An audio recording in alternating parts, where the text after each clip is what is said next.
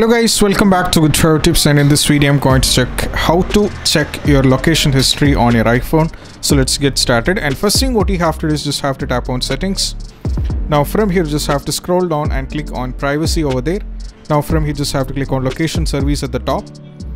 Now from here you just have to scroll down and click on system services and from here you have to click on significant locations and just have to enable with your respective face ID or something which you're having so uh, I'll do with the passcode.